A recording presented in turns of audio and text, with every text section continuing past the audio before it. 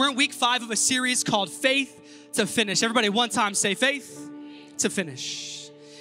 And today, um, I want to look at a character in the book of Hebrews, chapter 11, the Hall of Faith, which is a New Testament writing of, about some of the characters and people that we admire from the Old Testament, stories of great faith. I want to look at a man named Gideon today and his faith journey. And in Hebrews 11, the writer says, kind of wrapping up, rounding out this book, says, And what more shall I say? I do not have time to tell about Gideon. I do, in fact, have time, though, so that's what I'm to do today. I don't have time to talk about Gideon or Barak, Samson, Jephthah, David, and Samuel and the prophets, who through faith conquered kingdoms. They administered justice and gained what was promised, who shut the mouths of lions, who quenched the fury of the flames and escaped the edge of the sword. Now, most scholars believe that this, this next line links directly to Gideon. So, Gideon, whose weakness was turned to strength, and who became powerful in battle and routed foreign armies. Now, that's what it says in Hebrews, but let's take a quick look at Judges chapter 6, where a thousand years earlier Gideon's story takes place. Just want to read a couple of verses to you. Judges chapter 6, verse 1, it says, The Israelites did evil in the eyes of the Lord, and for seven years he gave them into the hand of the Midianites. And so they're being persecuted, they're under oppression. And then we jumped all the way down to verses 11 and 12. And it says, One day the angel of God came and sat down under the oak in Ophrah, which is what my grandfather called Oprah. Um, and I couldn't get him to stop.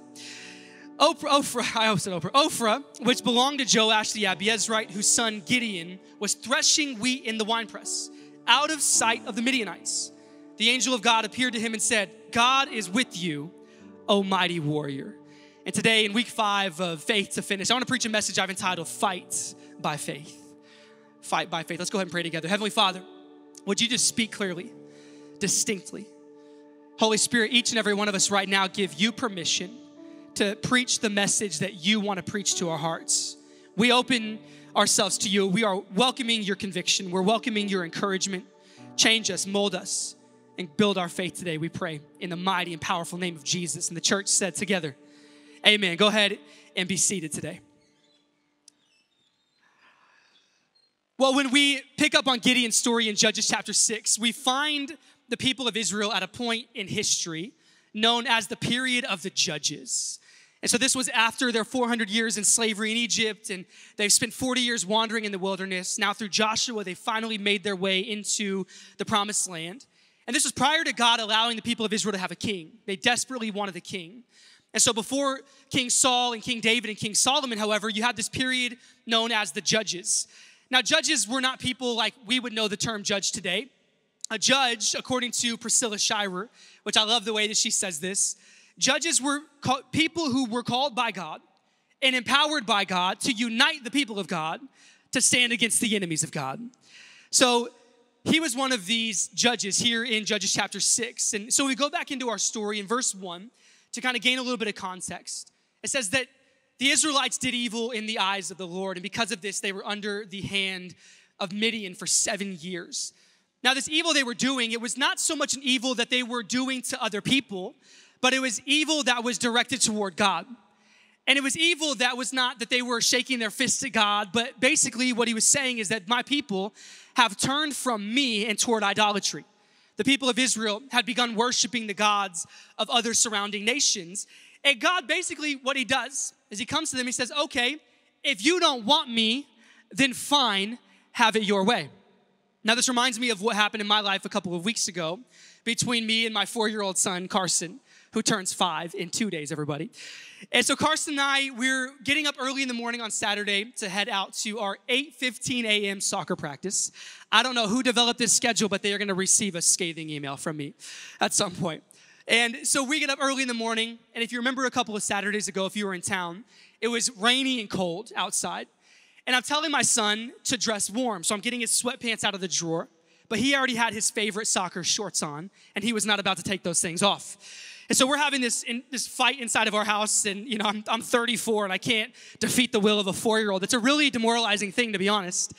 And I cannot get him to put the sweatpants on. And so I look him in the eyes and I say, Carson, it's cold and it's raining outside. You're gonna be cold. Do you understand that? He said, Yes, I'll be fine.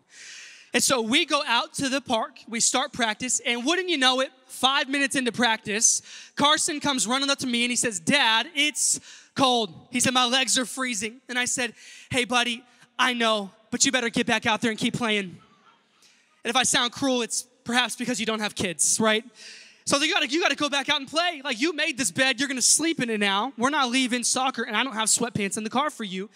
You know, as I was thinking about this, my son was mad at me in that moment. He's like, Dad, how could you? But the reality is, I did not make my son cold, but because of his stubbornness, I allowed him to be cold. I said, if you want it that way, then fine, but you're gonna need to be okay with reaping the very consequences from the decision that you're making. You know, sometimes we find ourselves in frustrating or difficult seasons or situations or scenarios in our life, and it's, and can I be honest, it's not because of God, but what if it's because of our own selfish and stubborn decisions? We want to get mad at God. How could you allow me to be going through this right now? And a lot of the time, more often than not, God said, I didn't do that to you. That was a decision that you made. He says, fine, you can, you can have it how you want it. And this is exactly what's happening to the people of God here. God says, if you don't want me, you don't have to have me. Friends, God will give you what you want, even when it's not Him. He'll say, if you don't want me, that's fine. You can have what you want, but you're gonna be, you're gonna have to be willing to take on and reap the consequences as a result. So they wind up being persecuted by Midian for seven years. And the persecution looked kind of like this every year in the time of harvest, right before the Israelites would harvest all of the crops they had been growing all season long, the Midianites would swoop in and they would take all of the food, leaving very little left for the people of Israel. Now, if you've seen the movie A Bug's Life, um, you fully understand this story, right, and what it looks like. And so they come and they would steal their harvest, and this has the people of God afraid. They've scattered, they're living in caves under this oppressive hand of Midian. But finally, the people of God, they get smart once again. And the scripture says that they begin to call out to God. And I think some of the good news today is this church that when people start crying out, God starts calling out. When people start crying for help, God begins to search the earth looking for men and women that He can call to be a solution to the problem. Right? And so God begins to call, and who does He call in this moment? Well, He goes to a man named Gideon. And then verses 11 and 12 of Judges 6, it says, The angel of the Lord came and sat beneath the tree at Ophrah. It belonged to Joash, to the clan of Abiezer. And Gideon, the son of Joash, was threshing wheat at the bottom of a wine press. I don't, even, I don't know if you know this, but that's not where you thresh wheat. So he's threshing wheat in the wrong place. And he's doing this, the text says, to hide the grain from the Midianites. The angel of the Lord appeared to him and said, Mighty hero, the Lord is with you. I gotta be honest with you, I get a little bit confused when I read this. So I'm looking at a man who's a farmer in hiding and God comes to him and says, No, no, no, you are a mighty hero. And I'm looking at this like, okay, God, what has Gideon done at this point to warrant that title? This man is clearly in hiding. He's not threshing wheat, which would have been done out in the open. He's doing it in a wine press under a tree in an enclosed space. He's officially hiding. And God says, I know you're hiding, but what I, what I see in you is a mighty warrior. And why this encourages me so much is because God wasn't speaking to who Gideon was, God was speaking to who he would become. And the good news for us today, church, is that God doesn't speak to and see you for who you were or even for who you are, but who you're becoming. God says, Let me show you who you can become if you continue to walk in stride with me. You know, when it comes to our true identity, it's not about what I see, it's about what God says. What is God said? And God's word clearly says so many great things about us. But Gideon, just like so many of us, he had a hard time accepting this. He's like, I don't, I don't know. And we see this based on the nature of the conversation that they have. God says, You're a mighty hero. And here's exactly how Gideon responds. He says, Sir, if the Lord is with us, why has all of this happened to us? Where are all the miracles of our ancestors that they told us about? And, and didn't they say the Lord brought us up out of Egypt, but now the Lord has abandoned us and handed us over to the Midianites. Gideon is officially frustrated at God. He says, God, my grandparents and my great grandparents can speak of how great you are, but my entire life I have not seen your greatness and your goodness. And so now you're gonna show up to tell us that you're with us, but where have you been? Wonder if you've been there before or you hear the way your parents or your grandparents talk about God, or you read the text in the Bible of the Old and the New Testament, or maybe you look how God is working in the lives of other people. And I just wonder if there's anybody in here that's ever been in this position of frustration towards God. I want to try to encourage your heart today. And so he's upset with God. God, where have you been? My people are under an oppressive hand, and you've been nowhere to be found. And then it says this in verse 14 it says, Then the Lord turned to him and said, Go with the strength you have and rescue Israel from the Midianites. I am sending you. You know what I love about this? And I find it interesting that oftentimes the very problems that we're most frustrated with God about are the very things that God is calling us to be the solution to. What frustrates you? You know, I heard a pastor say this to me about a decade ago, and it's never left me. He said, What bothers you? What frustrates you? And I'm not talking about traffic as you're driving through the city. I'm not talking about long lines at Giant or Safeway. I'm talking about at a deep heart level what frustrates you. What causes you to look up to God and say, God, what in the world is happening? What causes you to lay in bed at night saying, God, why have you not done anything to fix this? But I wonder if God sometimes looks at us and says, Why haven't you? I, I, partner with my people and I call my people. And he says, I do miraculous things and I do powerful things, but only when my people are willing to step out in faith and say, God, my calling is going to be a solution to a problem. So then in verse 15, after God says, Gideon, I'm sending you. So Gideon goes from frustration now, now to excuse making. And he says, But Lord, how could I rescue Israel? My, my clan is the weakest in the whole tribe of Manasseh, and I'm the least in my entire family. He's like, God, I'm from Manasseh. Ain't nobody ever heard about Manasseh? And he's like, My clan is the weakest in Manasseh, and I'm the runt of the litter. God, you obviously have got the wrong man. I'm not the guy. And he's beginning to make excuses. You know, the more I just sat and reflected throughout the week on this passage and what Gideon is saying, I began to have this thought that I believe Gideon, when I think about himself, I don't think he made these things up about himself. I think these are things he's heard other people say. I think he's heard other people kind of rag on Manasseh. Like, you don't want to be from Manasseh, you know? I think he's heard other people within his own tribe say, Bro, your family, like, y'all are pretty pathetic, man. You guys are one of the weakest, one of the smallest. Your dad didn't even have a good job. He can barely provide for your family. And then within that, maybe within his own family, people say, Gideon, you're the smallest, you're the youngest. You got to get out of here, man. You don't have a seat at the table. And this is the man that God comes to. He says, Look, I, I don't know, God, I'm not your guy. And I think Gideon's begun to believe the words of other people. But can I just say this today, and I hope this encourages somebody's heart in here, that you are not who others say you are. You're not even who you say you are. But the good news today is you are who God says you are. And if you want to know a little bit about what God says, God says if you're feeling like you're weak, that you are more than a conqueror through Christ. If you feel like you're You've been left out. He says, No, you're chosen. If you feel like you can't be loved, he says, You are loved unconditionally. If you feel like I've done too much and I can't be forgiven, he says, In Christ, you are the righteousness of Christ. And if you feel broken, if you feel beat up, and if you feel dirty, he says, No, you are my masterpiece. These are the things that God says about us. And the beautiful thing is that it's not about what you say or others say, because ultimately what God says goes. You know, I've talked about this before, but I'm the youngest in my family and I grew up with two older brothers. And I remember when I was about 16 years old, I started to drive, and we all shared a car. And if you ever try to share a car with siblings, it is like probably the most complicated thing on planet Earth to do. And so often I would need the car. I would be like, guys, I, I need to go somewhere. Or I have some budding 16 year old love, you know, and I'm like, I got a hot date at Whataburger. I gotta go, you know? And uh, my, my people from Texas shout amen, right? And some of y'all don't know about the gospel of Whataburger, but I'm like, I, I got places to go, I got places to be.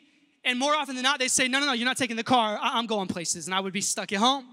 And I remember one day, it was a Friday, I went to my brothers and I said, Can I please use the car tomorrow? I really need to go somewhere. And both of them said, Absolutely not. And so then I immediately did what the youngest sibling in the family does. And I went to dad. And I said, Dad, my brothers won't give me the car and I need it and you know they never let me have the car. And he said, Brandon, you're absolutely right. It is your turn to have the car. You may take it. So I got up early on Saturday before my brothers were up. I took those keys and I left for the whole day. The whole day. They're texting me, Where the heck are you? Where's the car? I'm ignoring these texts. I'm like, I don't need this kind of negativity in my life right now. I'm having a great time. And when I got home, they were upset. They were livid. They're like, We told you you couldn't take it and that we needed it. And I said, Oh, what you don't understand is that I talked to dad. And dad said I could have the car. And I don't know if you remember how it works in this house, but in this house, what dad says goes. You know, and I tell you that today to just remind you and maybe lift your chin and encourage your spirit today that it doesn't matter what you say, it doesn't matter what other people say, but based on what God says, what your father says, what God says goes. God's got the final word, nobody else around you, no thing around you. God's got the final word. A weird analogy, but it'll stay with some of y'all. You know, after Gideon's last response of self doubt and excuse making, Let's look at how God responds to this. And so Gideon's like, I can't. I'm the runt and my family and all these things. And, and God responds like this He says to him, Gideon, I will be with you. And you'll destroy the Midianites as if you were fighting against one man. Isn't that interesting? God ignores every excuse Gideon makes. He doesn't address them. Nah, Manasseh's great, bro. No, your family's so awesome. You're the best, Gideon. I know you're short, but like you got this, bro. Like God doesn't address any of his insecurities. All he says is, I will be with you. You know, God responds the exact same way to the patriarch Moses. My wife earlier was up here. She was totally trying to steal my sermon. I don't know if you knew that. And what's funny is we didn't even communicate, but that's how God works. But Moses, if you've seen the Prince of Egypt, you know the story, right? The burning bush, and God comes to Moses in this epic moment. He says, Moses, I'm calling you. Go to Pharaoh and say, Let my people go. And what does Moses say? He says to God, Who am I that I should go to Pharaoh? and bring the Israelites out of Egypt. And if you know the story, he talks about, I have a speech impediment and I just, I can't do this. How does God respond to Moses? In verse 12, he says, I will be with you. See, God's typical response to our protests of inadequacy and our inability is not to disagree with us and just try to tell us how great we are, but to remind us how present He is. I think God wants to encourage you. And he wants to tell you where you're gifted, and he wants you to know that you're fearfully and wonderfully made. I'm not trying to say that God doesn't want to tell you those things. But can I tell you, He's more concerned with you understanding that He's with you, that He's omnipresent. Like Jesus said, I will never leave you nor forsake you. I will be with you to the end of the age.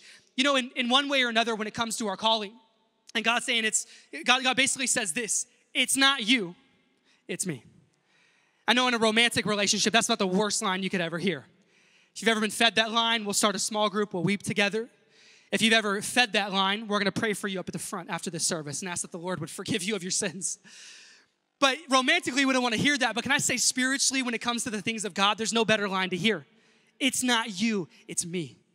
God says, I'm calling you. Hey, hey, it's not you, it's me. I'm, I'm, I'm asking you to do something that is out of your comfort zone, but guess what? It's not you, it's me. And God tries to bolster our confidence with the promise of His presence. His presence is everything.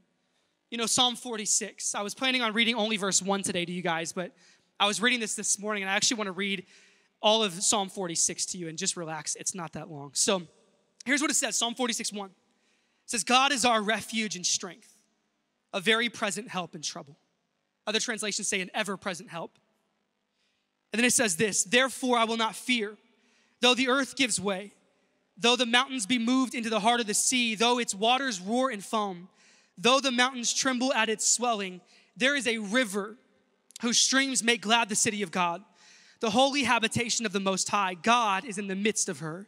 She shall not be moved. God will help her when the morning dawns. The nations rage, the kingdoms totter.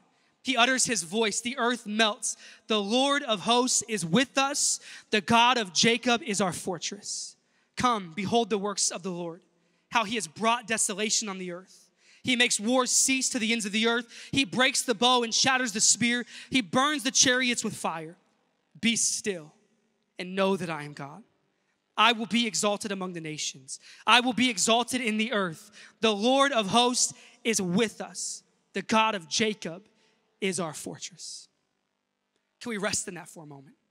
The Lord of hosts, which is the name Jehovah Saba, the Lord who fights for us.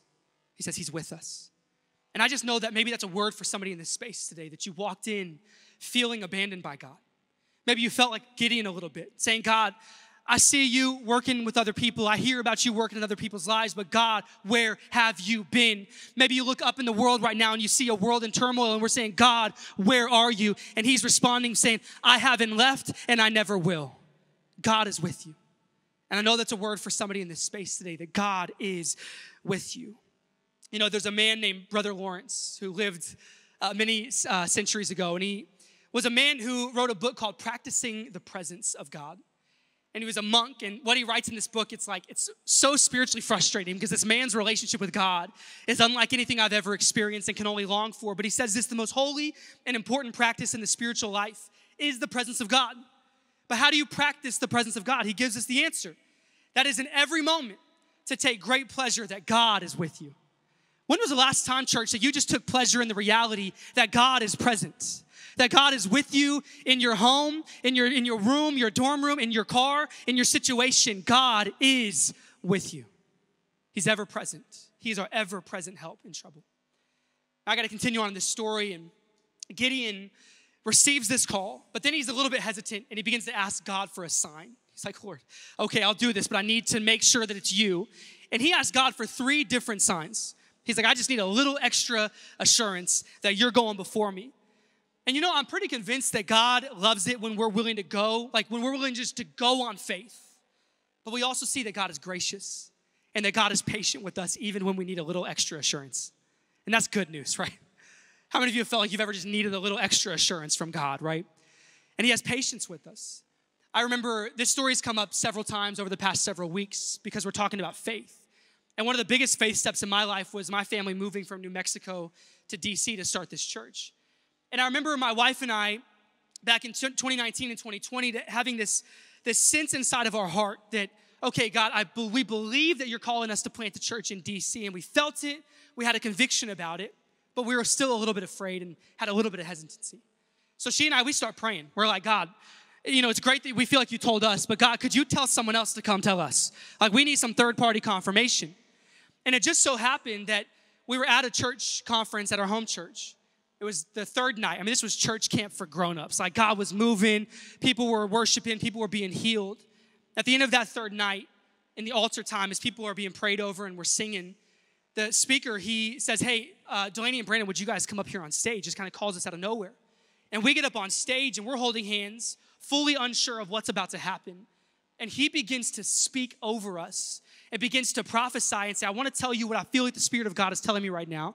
And he said that I believe there's a church inside of you that God has been birthing. And he said there's a new stream that's going to come out of the two of you. And I was like, okay, that's confirmation that God wants us to plant a church. Hallelujah, amen. That's amazing. But then he keeps going. And the man begins to get specific and not just talking about a church plant, but he starts talking about this city. He starts talking about the White House and he starts talking about the Capitol and Capitol Hill and begins to make it abundantly clear. You know, we walked up on that stage having said yes to God kind of timidly, but we walked off that stage saying yes to God confidently and saying, Thank you, God, for confirming the call in our lives. This happened in front of 2,000 people. How many know that's some prophecy with some high levels of accountability? We have people come up to us after service like, yo, when are you planting a church in DC? And I'm like, hold up, I need to process what just happened, right? This was crazy. It's one of the, the craziest, most God filled moments of my life. And God gave us the confirmation we were looking for. But how many of you know God doesn't always give you that kind of confirmation? Sometimes you're praying and asking, like, Lord, give me a sign. You're looking at license plates going by, you're checking like the billboards I remember watching the Nats win the World Series in 2019 and being like, God, is that you? Like, is this the sign? Am I supposed to go? I was looking, I was desperate. I was looking for anything. But sometimes God doesn't speak like that. What do we do in those moments? What I love to tell people is this that it's in those moments where you're, you want to move on a maybe that it's important that you have godly counsel around you. When you make decisions in isolation, be prepared to make some poor decisions. But you got to bring in other people. Do I have a mom and dad who are in the faith that could give me advice on this? Do I have siblings or peers that love the Lord and just have my best interest in mind? Do I have pastors I can go to? Have I prayed about this? Do I have a peace in my spirit about what God is calling me to? And if you want to make good decisions, then include other people in those decisions. But I'm telling you, you got to include the right people. You ever got advice from the wrong person before? Yeah, they're everywhere, right? And some of them, this is a secret, are in this room okay? You guys gotta be careful. I don't know who they are. That's not prophetic, but I've gotten bad advice in church before. So just make sure you're looking at where you're going to get good advice. I gotta continue on the story. So then Gideon in chapter 7, God has anointed him and empowered him, and he begins to amass an army.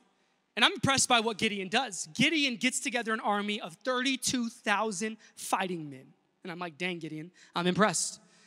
The only problem is that Midian's army was not 32,000 men, it was 135,000 soldiers. So Gideon's already outnumbered more than four to one. And God comes to Gideon and does things that only God does. And he says, Gideon, I'm sorry to tell you this, but your army is just far too big. So we got to do something about this. Gideon's like, wait, did I just misunderstand what you just said? He said, yeah, your, your army's too big. He says, what I want you to do is go to, to the army, the soldiers, and say, if any of you are afraid, you can, you can go home. And I think Gideon probably approached this moment with some level of confidence. Like, these are grown men who are ready to fight for their country and fight for their, their families. No one's gonna be afraid. And so Gideon stands up. He says, Okay, if you're afraid, you can go. 22,000 men leave right in that moment. So now Gideon's left with 10,000 men. He's outnumbered more than 13 to 1. And God looks at the 10,000 men. He says, Gideon, I got bad news. It's just still way too many. And so God tells him to go down to the brook and have all the men drink from the brook. And he says, I'll, I'll kind of divide it up based on how they drink. And it just so happens that 9,700 men drink one way and 300 men drink another way. And God says, I'll take the 300, send the 9,700 home. So now Gideon, up against 135,000 fighting men, is down to 300 men. This, is, this means that he's outnumbered 450 to 1. And it's at this moment that God says, All right, this looks great. I like these odds, okay? This, is, this is an awesome moment. And I don't know about you, but if I'm Gideon, this is probably the part of the story that I bow out. And I'm like, God, this has been cute so far. Thank you for calling me a mighty warrior. Thank you for helping me amass an army. But you just whittled this thing down and stripped this down to 300 men. I'm not doing this anymore. Right, this is probably where most of us, if we haven't already, this is where most of us are going to bow out. But then the story gets even more bizarre. And God begins to give Gideon the battle strategy for these 300 men against 135,000. And certainly Gideon's like, all right, God, we got some secret weapons up in here somewhere, right? He's thinking we got flaming arrows, you know, giant catapults with flaming boulders. And much of my life has been formed by Lord of the Rings, so that's kind of what I feel when I see, when I think about battle. And God comes to Gideon, he's like, no, we're not, we're not having flaming arrows and giant catapults. He says, here's what you're gonna give each of these 300 soldiers. You're gonna give each man a torch. And Gideon's like, all right, that's fire. We can, we can work with that. We can light some stuff on fire, burn it down. Give him a torch. You're going to give each man a trumpet. And Gideon's like, all right. Guess we can like call in the cavalry that you've been like building. You've been talking to somebody else and they'll come. Then the last thing it says, and then I, I want to give each man a clay jar. And Gideon's like, this is outrageous. I want you to give him a torch, a trumpet, and a clay jar. I love to put myself in these stories and imagine being Gideon going to your 300 soldiers. like, what's God got for us, man? He's like, you're never going to believe it. A torch, a trumpet, and a clay jar. They're like, okay, this is great. We're to do some serious damage with these clay jars uh, with the Midianites. It's like the worst plan of all time. I don't, I don't know if you know this, but God kind of specializes in bad plans, at least from our perspective. Do you remember the story of Jericho? Walk around the city for seven days and then just shout at the walls and let's see what happens. And everyone's like, this, this doesn't make any sense. What I love is that God operates in ways that don't make sense to us. Let me say it this way to you today, church. It's not about the plan, it's about my faith. And for all of you planners in the room, you're disagreeing. You're no, no, you're like, no, it's about the plan, Brandon. It's about the schedule and the calendar. No, no, no. God will blow up your plans and your calendar and your schedule. It's not about his plan, it's about my faith. I think some of us need to stop today obsessing over, trying to figure out how God's gonna get me there, and just ask yourself, Am I willing to go? Am I willing to step out? I don't know how he's gonna do it, but I'll, I'll step. So Gideon his, his men, they're already vastly outnumbered, 450 to 1. And then God gives the next part of the strategy, which gets even worse. He says, I want you to go in the middle of the night, surround the Midianite camp. It's up, on, it's in a valley, so you've got this mountain all around it. And then I don't want you to sneak in and try to attack them in the middle of the night. I want you to draw as much attention to yourselves as humanly possible. Just gets worse and worse. And what blows my mind about these guys is they actually go. Like they, they go to the Midianite camp. They're outgunned, outmanned, and outplanned for all you Hamilton fans out there. You know, I wonder if any of you have ever found yourself in a similar position. Right, or even right now in your life where you're up against something you can't defeat, you're facing a problem that you can't solve. You're trying to walk in faith, but it seems like God just keeps pulling the rug out from under you. Maybe you're frustrated, maybe you're lost, maybe it looks like defeat is inevitable. I wonder if there's areas of your life where you have felt or you feel helpless and you're on the verge of becoming hopeless. You've got questions that have gone unanswered. You're lacking faith and you've just been bombarded by doubts. You're suffering physically in your body. Maybe your marriage is under attack. You're at odds with your spouse, and maybe it's been that way for months or years or decades. You got an addiction that you can't seem to break that has you bound. You've experienced job loss and maybe a sense of purposelessness and wandering. Maybe you've got a dream, but you don't think you have the skills or the tools or the people around you or the resources to make it happen. I know I've talked to people in this church, maybe you've got anxiety that just won't go away and it's crippling. Depression that overwhelms and seems to rear its ugly head at all the wrong moments and seasons of your life. Maybe you're in a spiritual battle and you feel like the enemy just has your number. And so, for many of us, we've, we're in or we've been in seasons, or we might be in one in the future, where defeat seems inevitable. Well, I want to draw your attention back to the story of Gideon because God strips him down to nothing, gives him 300 men with no weapons. And so, can I just be honest, church? Defeat was inevitable. Gideon and his men are walking into certain death if God does not show up. Certain death. No surviving this. And what is God doing to Gideon, you might be asking? As he strips away everything, what God is doing is he's removing anything else that Gideon could have put his trust in or his confidence in for victory. Everything's gone. They can take zero credit. Everything is stripped away. He didn't have who he needed and he didn't have what he needed, but the reality is, church, we'll never know that God is all we need until God is all we have. So you might be in a season where you're like, God, are you taking stuff from me right now? I thought you were the God who gives. You're Jehovah Jireh, provide for me. And guess what? Jehovah Jireh will sometimes take from you. I promise you that. That may sound, that might mess up your theology a little bit. But God will strip us to the bone sometimes so that we can finally get to the point where we quit relying on ourselves and our own power and we begin to rely on the power of our Almighty God. We will not experience real power until we have this revelation. See, God will strip things away, and it's not to make you vulnerable, it's to make you powerful. Do you remember the words of Paul in Second Corinthians? We've talked about this a couple times over the last couple months, and Paul is saying, God, I'm in a trial. I'm suffering and I need your help. I need you to take something away from me. And God says, No. And what does he say? My grace is sufficient for you, Paul. For my power is made perfect in weakness. Therefore, Paul says, I'll boast all the more gladly about my weaknesses so that Christ's power may rest on me. This is why, for Christ's sake, I delight in my weaknesses and insults and hardships and persecutions and in difficulties, for when I am weak, then I am strong. You see, Gideon's story and the Apostle Paul's words emphasize human weakness and inadequacy are opportunities for God's power to shine. You want to see God shine? Then you got to become okay with your weaknesses right? And not looking at God and saying, Why are you making me weak and what are you doing to me? But saying, God, obviously, if you're pulling things away from me right now, I need to step back because you're about to do something that I can never do on my own. And God is saying, in your weakness, you will become more aware of my power and my goodness than you've ever been in your life. Because I think it's at that point that we can finally get out of the way and let God step in and do what only He can do. You see, for Gideon, the results of this was military victory. For Paul, the result was the ability to endure trials and keep moving forward in faith. And so Gideon and his men, they stand on that mountain looking down at the Midianite army. And as I mentioned last week, as A.W. Tozer said, that these Old Testament stories can become the perfect illustrations of the life of spiritual living that we are called to live today. And I think this is one of those great examples. I don't know if there's a greater example in all of Scripture of somebody saying that when I am weak, then I am strong, than this moment that Gideon stands on this mountain. He is in utter weakness. God has taken everything from him, and he does what God tells him to do. The men, on Gideon's order, they sound the trumpets, waking up the Midian people. They break the jars, they light their torches, and in unison they shout together, A sword for the Lord and for Gideon. And what this does is it causes great confusion in the camp and the people wake up out of a groggy sleep.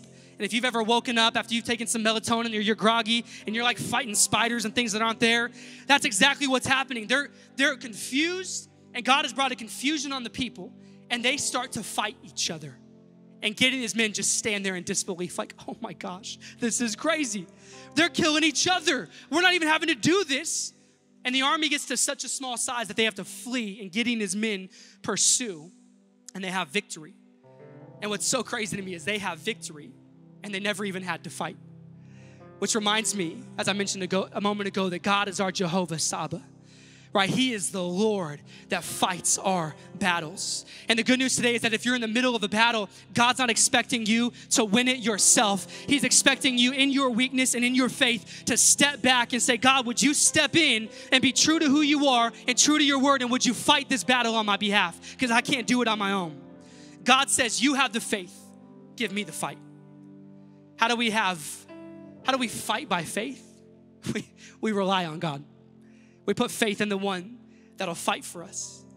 Let me give you a few scriptures to encourage you. Exodus 14 says, The Lord will fight for you. You only need to be still.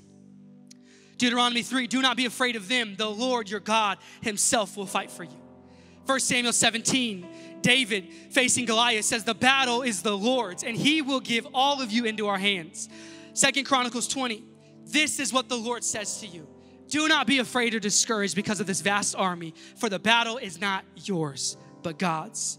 And let's go to the New Testament, Romans 8:31. If you know it, finish it with me. For if God is for us, who can be against us? Guys, we have a God that's for us.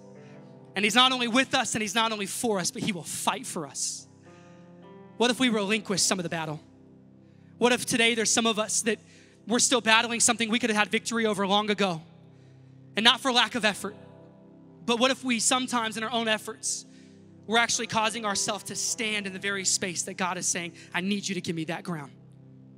We step back and say, God, would you fight for me? Would you fight my battle? The moral of the story, guys, is not to sit back and let God do everything. If you go back and read the story of Gideon, God has Gideon do a lot of stuff. Gideon has to amass the army, he has to be a part of shrinking the army, he has to get the weapons together. They have to go. God is going to give you much to do, but ultimately it's this do everything the Lord has called you to do, and then step back and let the Lord do what only He can do. That's the moral of the story today. If you guys would stand to your feet. I just want to take a moment of response today. And I won't call anybody forward, but just three groups of people that I want to ask a question of today to know maybe this is you and I can be praying for you. So if you guys would bow your heads and close your eyes, everyone in the room three things today. Maybe you're somebody in here, and earlier in the message, as I was talking about how Gideon quite possibly was allowing other people to define him. Maybe you're here today and you're saying, Brandon, I have not let the words of God and the words of Scripture define me, but I'm allowing other people. You've allowed what a grandparent or a parent, a friend, a roommate, somebody on social media, you're allowing what they've said about you to define you. But today you want to say, I, I want to walk in how God what God says about me and not what I see in me. If that's you, every head bowed, every eye closed, would you just raise a hand really quickly? I want to know who I could be praying for. God's identity over you. Okay, you guys can put your hands down. The second group are just those of us in here that, like Gideon, we want to be used by God. We see problems around us that we want to be a part of solving, but maybe you feel inadequate. And so you got excuses. God, I'm not good enough. God, I just, I think you got the wrong man or the wrong woman. But today you want to say, Lord, I confess that it's not about my ability, but my availability. But if you felt inadequate to be used by God, would you lift a hand? I want to know if I could pray for you.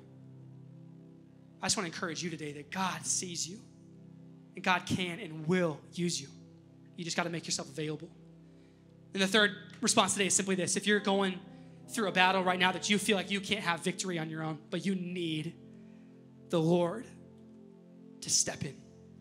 You say, you, you say, Brandon, I've been fighting this on my own and I'm struggling all the categories I laid out earlier, if I missed yours, whatever it might be. But I need the God of angel armies to step in today, like he fought for Gideon, like he was with Moses, like he was with the people as they marched around Jericho. I need his presence and I need his ability today. Would you guys raise a hand today if you're facing something? It's about half the room. If you raise a hand for any of the three, would you raise your hands back up? I want to pray for you. Keep it up high. Let's pray together. If you're near somebody that has a hand raised, you can just extend a hand towards somebody. Let's pray together, church. Heavenly Father, God, today I just pray your identity over each and every one of us. We are not who others say we are. We are not even who we say we are. We are who you say we are, God. And so we right now walk in your identity, God, not what we see, but what you say and what you have said about us. Remind us today that we are loved. We are more than conquerors. We are mighty warriors in your hand. For those who feel unqualified, based on their abilities or their past or their sin or whatever's going on in their life, remind us, Lord, that it's not about us being qualified, Lord. It's not about our ability, but our availability. So we humbly place ourselves in your hands and say, God, use us and use us powerfully, Lord. And for those of us who are facing a mountain, who are walking through the deepest valley, who are up against the largest giants that loom in front of us, that loom large in front of us, Lord we decry and we declare right now that you are the God who fights for us. And so, in our weakness, we give you our weakness. And would you supplant our weakness with your strength? Give us your strength, God. Show us. In this miracle season, God, would you be the God of miracles? Do what only you can. Restore relationships, heal our physical bodies, help our finances, God Give us the courage that we need. Heal our anxiety, heal our depression in Jesus' name. Whatever we battle, we give it to you. The battle is not ours, it is the Lord's. We love you. We thank you, Jesus, for winning the ultimate battle over our sin as you hung on the cross. Thank you for defeating, defeating death, hell, and the grave. Now, as we look to you, Jesus, our sin is forgiven and we are made new and righteous in you. We love you. We pray this in your name. Amen.